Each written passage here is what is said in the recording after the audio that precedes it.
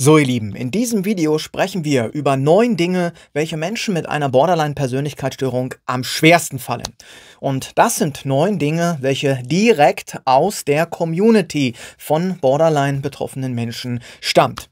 Und zwar wurde ich gebeten, auf einen Instagram-Beitrag vom Kanal Erklärungsnot zu reagieren. Und in diesem Instagram-Beitrag werden ja aus der Community, aus der Erklärungsnot-Community ganze 43 Punkte genannt, was Menschen mit Borderline am schwersten fällt. Ja, und auf neun dieser Punkte, die neun ersten, möchte ich in diesem Video reagieren und zu den einzelnen Punkten auch etwas sagen. Ja, den Beitrag, über den wir hier sprechen von Erklärungsnot, findet ihr natürlich in der Videobeschreibung verlinkt. Ganz kurz und bevor es losgeht, muss ich aber noch einen kleinen kritischen Kommentar zu diesem Instagram-Posting machen, einfach aus der Sorgfaltspflicht heraus. Nicht, weil ich das schlimm finde, was ich jetzt kritisiere, nicht, weil ich das bashen möchte, sondern einfach, weil ich ja auch davon ausgehen muss, dass ihr dann vielleicht tatsächlich diesen äh, Beitrag und diesen Kanal aufruft und mich dann wieder fragen würdet, hey Tom, was ist denn da los? Und zwar steht in der äh, Textbeschreibung zu diesem ähm, bebilderten Beitrag, in der Beitragsbeschreibung steht hier von Erklärungsnot, äh, Zitat, das Leben mit Borderline-Persönlichkeitsstörung, Klammer auf Neu-Doppelpunkt, emotionale Instabilitätsstörung der Persönlichkeit, Klammer zu, kann ganz schön herausfordernd und belastend sein. Heute habe ich daher aus eurer Community Antworten zu der Aussage, Dinge, die mit einer Borderline-Störung am schwersten fallen, äh, zusammengetragen und hoffe, damit für ein wenig mehr Verständnis für Betroffene zu werben. Ja, und das finde ich natürlich sehr, sehr gut. Vielen Dank an dieser Stelle für eure vielen Nachrichten und euer Vertrauen. Wichtig zu verstehen ist, dass sich bei der emotionalen Instabilitätsstörung nach der internationalen Klassifikation der Krankheiten ICD-11 zwei Typen unterscheiden lassen. Und zwar den impulsiven Typen und den Borderline-Typen. Ja, und dazu möchte ich kritisch anmerken, dass ich behaupte, dass dieser Text, der hier steht, die äh, Person äh, hinter dem Kanal Erklärungsnot hat selber auch einen Master in Psychologie und ist Psychotherapeutin, glaube ich, in Ausbildung. Ja, dass dieser Text äh, mehr oder weniger frei erfunden ist. Also ich wüsste nicht, dass äh, Borderline beziehungsweise die äh, äh, die emotional instabile Persönlichkeitsstörung nach ICD-10 inzwischen emotionale Instabilität Identitätsstörung der Persönlichkeit heißen würde, weil hier steht neu Doppelpunkt, also als würde es da irgendeine Neuerung, Änderung geben. Ich habe davon nichts mitbekommen, schreibt das gerne in die Kommentare. Also das halte ich erst einmal für frei erfunden. Und dann ist es natürlich ganz wichtig zu äh, verstehen, dass es nicht wichtig zu verstehen ist, wie es hier heißt, dass nach ICD-11 Borderline in einen impulsiven Typen und in einen Borderline-Typen unterschieden werden würde oder ganz richtig gesagt, die wow, emotional instabile Persönlichkeitsstörung in einen impulsiven Typen und in einen Borderline-Typen unterschieden werden würde, sondern das eben noch nach ICD-10 der Fall ist. Nach ICD-10 und im ICD-10 heißt die Borderline-Persönlichkeitsstörung beziehungsweise nach ICD-11 das Borderline-Muster auch emotional instabile Persönlichkeitsstörung. Das heißt, gerade nach ICD-11 wird nicht mehr in einen impulsiven Typen und in einen Borderline-Typen unterschieden. Ja, das war sehr kompliziert, was ich jetzt gesagt habe. Ähm, ich denke, dass es auch keine neuen Sachen waren, die ich jetzt hier äh, angemerkt habe für die Stammzuschauer meines äh, Kanals. Ähm, das wirklich einfach nur nochmal als äh, ja, als kleine Richtigstellung und aus der Sorgfaltspflicht heraus. Wir sehen auch hier natürlich mal wieder, erstens, Fehler können auf Social Media jedem passieren, auch Leuten mit einem Master in Psychologie. Trotzdem ist es natürlich immer wichtig, sich selber, egal welchen Titel man hat oder nicht hat, kritisch zu hinterfragen. Und ihr als Zuschauer oder ja, Follower müsst oder solltet natürlich immer kritisch sein bei allem, was ihr lest und hört, auch bei meinen Videos. Ja? Denn auch ich bin nicht perfekt. So, jetzt aber Schluss mit dem Blabla vor den neuen Punkten, bei den Menschen mit Borderline große Probleme haben, die ihnen am schwersten fallen. Ich weiß übrigens nicht, ob das chronologisch geordnet wurde, diese insgesamt 43 Punkte. Wir sprechen hier, wie gesagt, über die ersten neun Punkte, die im Beitrag von Erklärungsnot genannt wurden. Und zwar Punkt Nummer eins: anderen Personen die eigenen Gefühle und Gedanken zu erklären. Das sei eine Sache, die Menschen mit Borderline besonders schwer fallen. Und da würde ich sagen, ja, das ist absolut der Fall. Warum? Naja, es ist nun einmal so, dass Menschen mit Borderline häufig nicht nur eine völlig andere Biografie hatten als Nicht-Borderliner, nicht ein völlig anderes Leben im Hier und Jetzt leben müssen als Nicht-Borderliner, dass sie durch ihre Borderline-Persönlichkeitsstörung auch eine ganz andere Gedanken- und Gefühlswelt und vor allen Dingen viel intensiver haben als Nicht-Borderliner. Nein, es ist ja vor allen Dingen auch so, dass Nicht-Borderliner trotzdem häufig glauben, sie würden wissen, wie sich Borderliner fühlen. Selbst ich, der sich nun schon seit vielen, vielen Jahren mit dem Thema Borderline beschäftigt, der immer wieder super Feedback aus der Community, also von Betroffenen bekommt und der mit Sicherheit auch den ein oder anderen Borderline-Wesenszug hat, würde mir nie anmaßen, zu 100% die Gefühls- und Erlebniswelt und Gedankenwelt von Borderlinern verstehen zu können. Das wäre einfach anmaßend, okay? Naja, wir wissen aber natürlich, dass insbesondere Außenstehende das äh, häufig meinen, ja, jeder ist doch ein bisschen Borderline. Hey du, ich fühle mich auch mal schlecht und hey du, ich bin auch manchmal total impulsiv. Ich kann das schon verstehen. Wir alle kennen diese Sätze. Ja, und da ist es natürlich ganz besonders mühselig, dann diese Leute, die schon davon überzeugt sind, alles zu verstehen und alles zu wissen, davon zu überzeugen, dass es wahrscheinlich nicht so ist, ja, weil eben das Leben und die Gedanken- und Gefühlswelt von Borderlinern ganz unterschiedlich ist. In aller Regel zu denen der Nicht-Borderliner. Ja, Punkt Nummer zwei. Wutausbrüche zu kontrollieren. Starke, unangemessene Wut ist eines der Kernkriterien für die Borderline-Persönlichkeitsstörung nach DSM-5. Und ja, Borderliner neigen ganz, ganz häufig eben zu dieser extremen äh, Wut. Ähm, das hat verschiedene Gründe. Ja, ich habe schon eigenständige Videos über das Thema Wut und Wutausbrüche hier auf diesem Kanal gemacht. Das füllt ganze Videos. Menschen mit Borderline reagieren häufig wütend, um andere unangenehme Gefühle nicht spüren zu müssen. Zum Beispiel, wenn sie von anderen kritisiert werden. Ja, da haschen sie den anderen gleich impulsiv an, wie aus der Pistole geschossen, damit sie die Kritik nicht annehmen müssen. Was fällt dir ein, hier zu kritisieren? Das ist doch totaler Unsinn.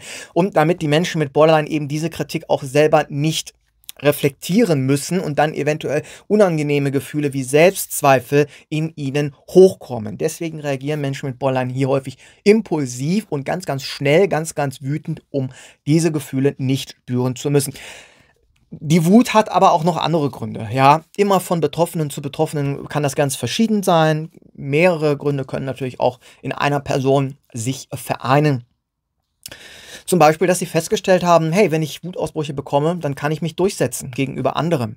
Das ist mir sonst nicht möglich. Und deswegen ist diese Wut ein zumindest in der Vergangenheit noch funktional gewesener Skill, mein eigenes Überleben, sage ich einmal, in einer mir feindlich oder als feindlich wahrgenommenen Welt zu sichern.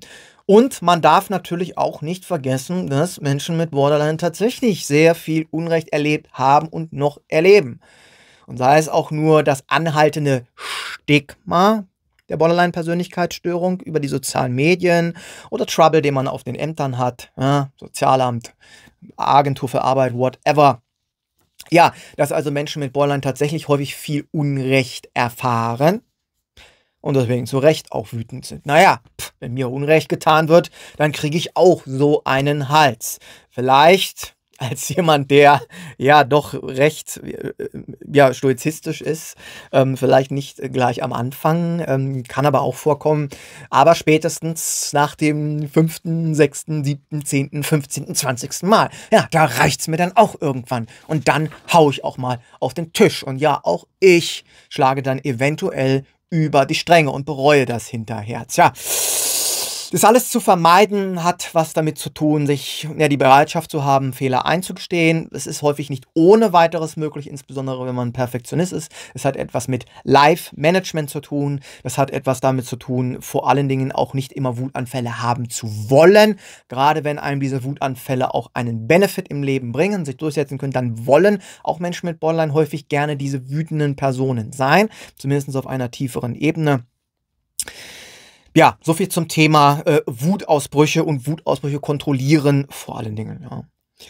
Punkt 3, sich selber akzeptieren. Tja, habe ich ja gerade schon ein paar Sichelchen zu gesagt. Das ist nicht immer ganz einfach, wenn man eine Borderline-Störung hat, sich zu akzeptieren. Man hat zum Beispiel einen Lebenslauf, der nicht vergleichbar ist in negativer Hinsicht mit dem Lebenslauf der heilen Weltmenschen um einen herum, mit den ganzen Lichtpersönlichkeiten, mit den Einhornmenschen ja, mit den ständig smilenden, ach, das Leben ist ja so toll, Menschen.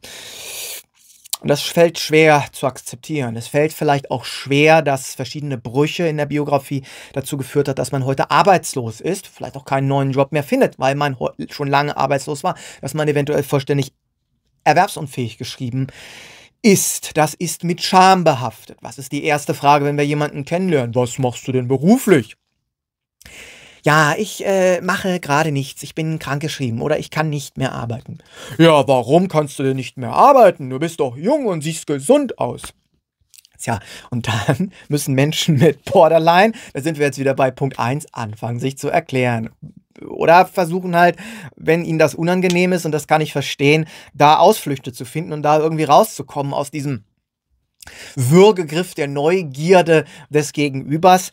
Ähm, ja, und dann halt sagen, ja, weil ich habe eine Borderline-Störung. Ja, warum hast du denn eine Borderline-Störung? Ja, weil ich Missbrauch in meiner Kinder- und Jugendzeit erlebt habe. Ja, was über von wem denn? Ja, von den eigenen Eltern. Und so weiter und so fort. Ja, ganz schwer. Und ähm, das zu akzeptieren, dass das Leben und man selber Darf ich das so formulieren? Ja, ich möchte das, glaube ich, so formulieren, dass man selber so ist. Das fällt schwer. Und natürlich dann, wenn man eh schon immer kritisch beäugt wird, die anderen immer viel zu neugierig sind, man vielleicht die ja, jedem bekannten äh, Droh- und Meckerbriefe der Sozialämter bekommt, jedem bekannt, der schon mal beim Sozialamt war, mit den harschen Formulierungen, unter Druck setzen. Ja. Wir weisen sie auf ihre Mitwirkungspflicht hin. Das löst Scham aus, ja, da fühlt man sich kacke. Und dann will man natürlich auch vielleicht nicht akzeptieren, wenn man wirklich mal was nicht kann, ja. Oder vielleicht die eigenen Eltern einem immer schon gesagt haben, du kannst dies nicht, du kannst das nicht, du wirst es nie zu was bringen, warum bist du überhaupt hier, wir hätten lieber einen Jungen gehabt, bla bla bla. Ja, schwierig. Selbstakzeptanz fällt Menschen mit Borderline schwer. Und zumindest ich behaupte, das nachvollziehen zu können. Ja? Punkt Nummer vier, den Alltag meistern. Muss ich da noch viel zu sagen? Wow, da habe ich glaube ich auch schon jetzt viel in diesem Video zu gesagt. Vielleicht noch ein, zwei Punkte, wenn man eine komorbide Depression zum Beispiel hat dann fallen einem viele Dinge des Alltags schwer und sei es auch nur die Wohnung aufräumen.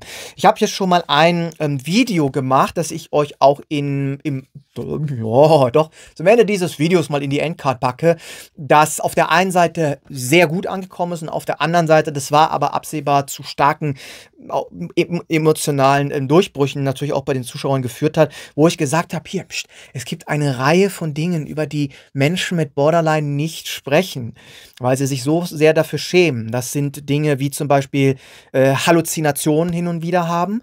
Da wollen Menschen mit Borderline nicht drüber sprechen, weil sie Angst haben, man wird sie dann als Psychotiker abstempeln und noch mehr stigmatisieren und ihnen gar nicht mehr glauben und auslachen und Witze machen. Ne? Wir kennen das. Aber eben auch, dass viele Menschen mit Borderline, das habe ich auch in dem Video gesagt, das ich euch verlinken werde, aber natürlich nicht alle, aber wir wissen ja, es, die Videos werden ja nicht zum Ende geschaut. Ähm, wenn man sich schon aufregt, wird das Video vielleicht abgebrochen, bevor die ergänzende und wichtige Erklärung kommt. Viele Menschen mit Borderline, lange Rede, kurzer Sinn, haben auch häufig Probleme, ihre Wohnung zum Beispiel aufzuräumen. Ja, leben häufig im Müll. Das kann bis zum Messitum sich hochsteigern. Und auch hier in diesem Video nochmal, nein, nicht alle. Viele Menschen mit Borderline sind sehr sauber und penibel. Viele Menschen mit Borderline sind absolut reinlich. Aber es gibt eben auch Menschen mit Borderline, die im Müll leben, ja. Ähm, Und sei es auch nur, weil sie eine komorbide Depression haben. Und sei es auch nur, weil sie gar keine Notwendigkeit mehr sehen, ihre Wohnung aufzuräumen oder für sich selber zu sorgen. Es wird ja immer gesagt, du musst deine Wohnung ja nicht für andere aufräumen. Du machst das ja für dich. Ja, das ist immer so ein Gequatsche. Und gerade wenn man sich als Mensch mit Borderline eh selber gar nicht mag, wird man sich auch schnell denken, ja, für mich, naja, für, ich bin ja für Letzte, für den ich das machen würde. Ich bin mir das nicht wert. Ähm, aber natürlich auch, man gewöhnt sich irgendwann an das Chaos, in dem man lebt. Man selber sieht das nicht mehr, okay? Das ist einem irgendwann egal. Man stumpft ab, okay? Und ja, aber solche Dinge auch können Menschen mit Borderline natürlich schwerfallen, den Alltag zu meistern. Behördengänge können schwerfallen und die sind auch schwer. Ich habe gerade erst beim Sozialamt, das, äh, von dem ich kein Geld mehr bekomme, ähm, ein Auskunftsersuch, der schon sehr wichtig für mich ist, im Hinblick auf eine Was wäre wenn Situation gestellt und zu dieser Auskunft sind die Sozialämter verpflichtet und da habe ich das Sozialamt in meinem Schreiben darauf hingewiesen mit ähm, dazugehörigen Urteil vom Bundesgerichtshof und trotzdem wird mir diese Auskunft nicht gegeben. Ja, man man guckt mich dort mit dem Arsch an. Okay, das ist schwer, dieses Ämterzeug. Und das liegt dann nicht daran, dass man Borderliner ist, sondern das liegt auch ganz, ganz häufig daran, dass die Ämter und insbesondere die Sozialämter in Deutschland nicht immer so sozial sind, wie sie tun. Ich habe in meinem Brief oder in einem der Briefe, die ich jetzt abschicken werde, habe ich noch nicht abgeschickt, liegt aber drüben auf meinem äh, Tisch da habe ich am Ende noch geschrieben, hier passen Sie auf. Das, was ich jetzt brauche, ja, wenn, geben Sie mir diese Auskunft. Ansonsten ist das Wort Inklusion eine Farce. Was ich jetzt brauche, ist kein Regenbogenbanner über dem Eingang Ihrer Behörde oder auf Ihrer Homepage, sondern ich brauche schlicht und ergreifend eine Auskunft, um die ich Sie hier ersuche und zu der Sie verpflichtet sind. Also geben Sie mir verdammt nochmal diese Auskunft. Ganz so krass habe ich es nicht geschrieben, aber das mit dem Banner und mit der Inklusion, das habe ich geschrieben, ja, und da sind wir ganz nah bei der Wahrheit dran, okay? Wow. Nummer 5, Freundschaften pflegen. Ja, Freundschaften pflegen ist aus verschiedenen Gründen natürlich, es sind immer verschiedene Gründe, ne? Ich, sind aus verschiedensten Gründen schwer ähm, und sei es auch nur, weil man in einer, ja, Zuge, ja, ja, Zuge in einer sehr verschlissenen Wohnung lebt, in die man nicht spontan Leute reinlassen möchte, weil man nicht die Kraft hat, die aufzuräumen oder nicht die tiefere Notwendigkeit sich das zu tun. Ähm, Freundschaften pflegen sind aber auch aus anderen Gründen gerade für Borderliner schwer. Erstens, weil Borderliner natürlich eine Tendenz haben zur Idealisierung und Entwertung. Das macht Freundschaften instabil. Borderline ist beschrieben in DSM-5 als Beziehungsstörung. Klar, dass sich das auf Freundschaften auswirkt, ja. Ähm, aber natürlich auch ähm, das Bedürfnis, alleine zu sein, das akzeptieren dann vielleicht auch die Freunde wieder nicht, gerade wenn die co-abhängig sind oder ein Helfersyndrom haben. Es ist aber auch äh, schlicht und ergreifend möglich, dass Menschen mit Borderline sich stets in ihre Freundschaften, gerade wenn es da etwas intensiver wird, neigen sich zu verlieben und ins Schwärmen zu kommen für die Freundschaften. Ja, und wir wissen, ein Liebesgeständnis oder als Sexualität zu gehen mit dem oder der besten Freundin, das kann die Freundschaften zerstören. Das sind Gründe, aus denen auch Freundschaften für Menschen mit Borderline häufig nicht schwerfallen. Weitere Gründe, nicht wissen, ob die Freunde äh, vielleicht einen kritisieren, Angst haben vor Kritik durch die Freunde. Ähm, ja, äh, die Emotionen und Gefühle der Freunde nicht richtig einschätzen zu äh, können. Ja, all diese Dinge beeinflussen auch die Freundschaft. Punkt Nummer 6. Mit der ständigen Anspannung umgehen. Ganz typisch für Menschen mit Borderline, intensive Anspannung erleben, nicht wissen, wie kann ich die regulieren, aus verschiedensten Gründen das, an das man jetzt sofort und an erster Stelle denken würde, wenn man an Borderline denkt, ist dann äh, selbstverletzendes Verhalten, um die Anspannung runterzubringen. Ja, das funktioniert und das funktioniert auch sehr inten, äh, das funktioniert auch sehr gut. Äh, aber es ist natürlich eigentlich eine dysfunktionale Regulierungs- Strategie, da erstens natürlich die Ursache für die Anspannungen nicht erlebt, äh, nicht beseitigt wird. Und zweitens, wir natürlich auch sehen müssen, dass man natürlich auch gegen diese Art der Regulierung, und das wissen alle vom Borderline-Betroffenen, die diese selbstverletzenden Verhaltensweisen an den Tag legen, ähm, ja, dass man da abstumpft und die Dosis immer steigern muss. Und die Dosis immer zu steigern, führt irgendwann zu eventuell irreversiblen Folgeschäden und wenn es auch nur kosmetische Probleme sind, die daraus entstehen. Deswegen ist das natürlich eigentlich, ähm, tja, ist das nicht das Mittel der Wahl. Es gibt natürlich andere äh, Methoden, seine Emotionen zu regulieren. Es ähm, gibt, äh, äh, es gibt äh, Entspannungstechniken, es gibt das äh, kalte Duschen, es gibt das berühmt-berüchtigte Schnipsen mit dem Gummiband, Riechfläschchen, alles so Skills, die man auch in einer DBT ähm, lernen würde. Es gibt auch äh, Verfahren wie NATRE, natürliche Stressregulation. Habe ich auch ein Video hier auf diesem Kanal äh, äh, gemacht. Ein Experten, Interview, sehr interessantes Interview übrigens gewesen, ähm, auch zum Thema Traumatisierungen. Was machen das, was macht das mit unserem Menschen, dass wir immer in einem erhöhten Wachsamkeitszustand sind? Naja, und dass man eben durch Verfahren wie NATRE, natürliche Stressregulation, eben dann diese Anspannung ausagieren in einer nicht schädlichen Art und Weise und somit herunterbringen äh, kann. Ständige Anspannung, ähm, da sind wir auch wieder beim Thema Überwachsamkeit, das Umfeld scannen, sich beobachtet fühlen, sich kritisiert fühlen, Angst vor der Zukunft zu haben, Angst vor dem nächsten Brief vom äh, Sozialamt haben, Angst vor der Kündigung haben, Angst vor dem Verlust der aktuellen Liebes- oder Freundschaftsbeziehung zu haben, Angst vor den Eltern zu haben. Ich, ne, es ist völlig klar, warum Menschen mit Borderline hier Schwierigkeiten haben. Trost auf der einen Seite, ja, man kann diese Regulation der Anspannung erlernen. Ja, man kann mit Sicherheit auch das Anspannungsniveau im Laufe von, wir machen hier Retalk auf diesem Kanal, kein Schöngerede, denn Schöngerede hat mich persönlich immer wütend gemacht, wenn ich das bei anderen gehört habe. Ich will die Lösungen ja hören. Ich möchte auch motiviert werden, meine Lebensprobleme an, anzugehen, aber ich werde demotiviert, wenn ich den Eindruck habe, ich werde angeschwindelt. Ja, dieses dieses Runterbringen der inneren Anspannung, das dauert viele Jahre bis Jahrzehnte.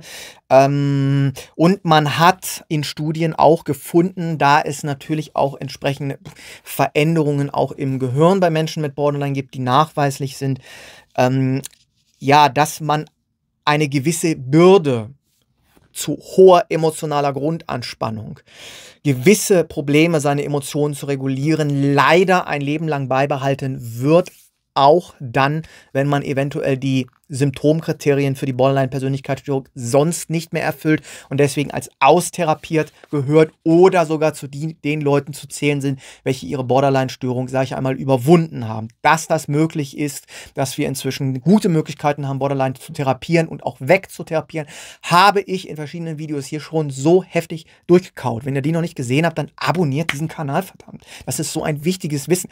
Aber eben dieses Problem, ähm, äh, mit ständiger Anspannung, das wird man leider als, tja, als Paket, das man mitbekommen hat, für den Rest seines Lebens mehr oder weniger mit sich herumschleppen müssen. Punkt Nummer sieben, Emotionen regulieren. Ja, es ist eine ganz, ganz ähnliche Thematik. Ähm, ich denke, da gibt es nicht mehr viel zu sagen, warum Menschen mit Borderline häufig diese Emotionen haben. Das geht ja auch hier mit den Wutausbrüchen und mit den Verlassenheitsängsten. Das ist ja alles ein Topf. Punkt Nummer 8, darauf zu vertrauen, dass man nicht von allen verlassen wird. Ja, Grüße gehen nochmal raus ans Sozialamt, die mir meine Anfrage nicht beantworten.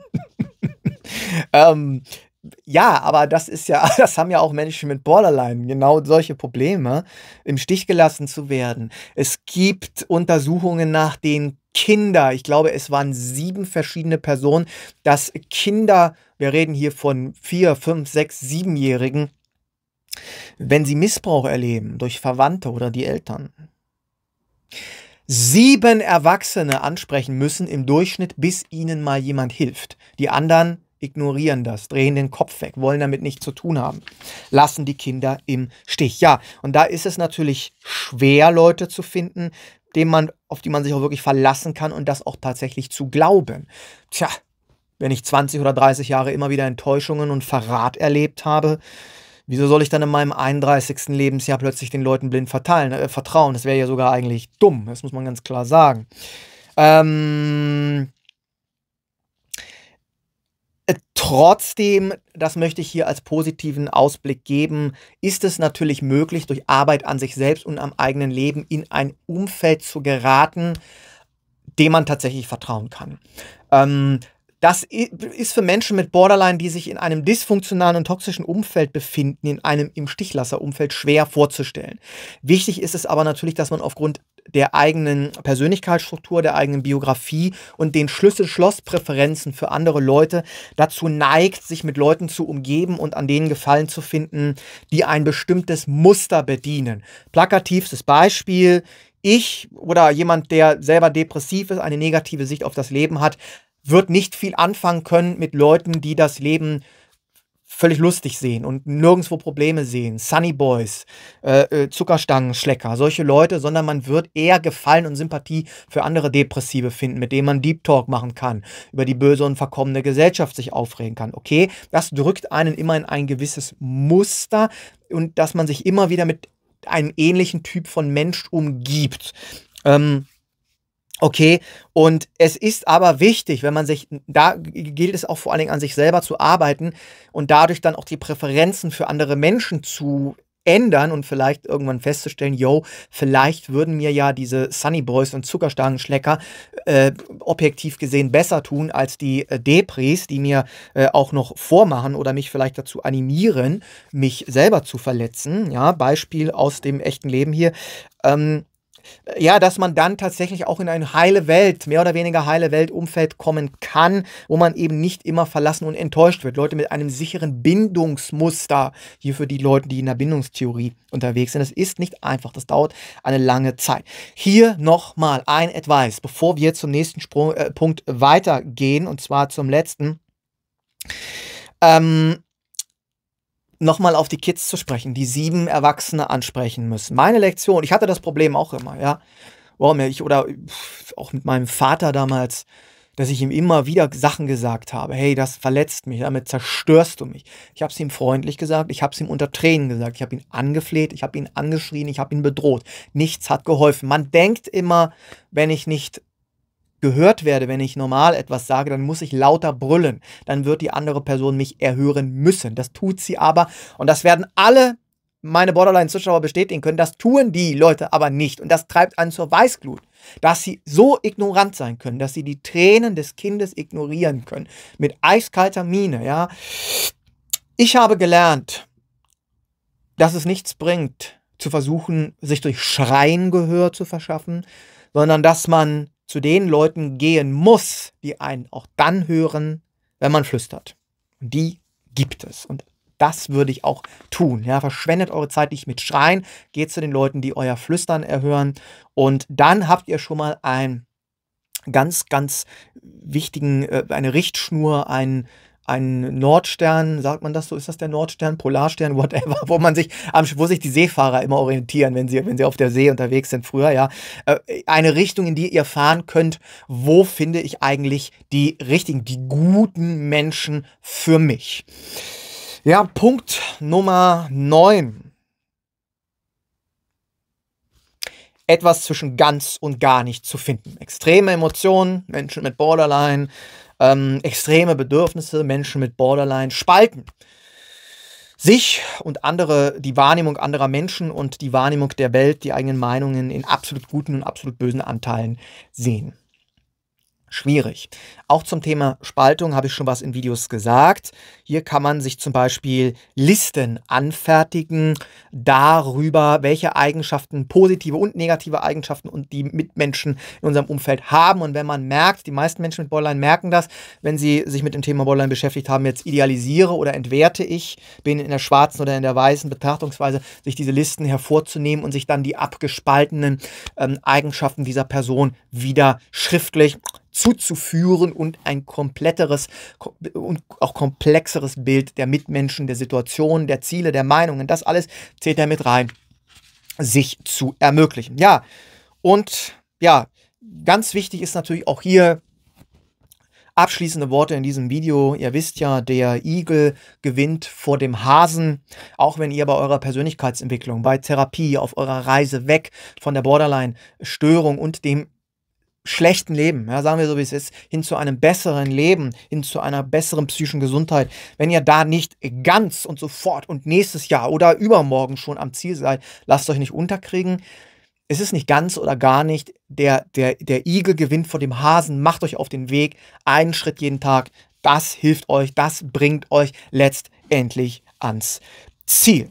Ja, so viel zu den äh, neun Punkten, die hier von Erklärungsnot genannt wurden, wiederum gespeist aus der Erklärungsnot-Community, wie ich doch annehmen muss, von, von Borderline-Betroffenen. Ansonsten würde es keinen Sinn machen. Ähm, wie gesagt, das Post, den Post findet ihr in der Videobeschreibung. Abonniert gerne diesen Kanal. Wenn ihr mich und dieses YouTube-Projekt unterstützen möchtet, wenn ihr Danke sagen möchtet, könnt ihr auch Kanalmitglied werden. Da freue ich mich von Herzen drüber. Und hier äh, rechts von mir ähm, äh, äh, rechts von mir in der oberen Endcard findet ihr auch noch das von mir angekündigte Video. Da könnt ihr jetzt draufklicken und kommt dann sofort dahin. Ansonsten, ihr Lieben, bedanke ich mich für eure, für eure Zuseherschaft. Haltet die Ohren steif und ich hoffe doch, wir sehen uns beim nächsten Mal.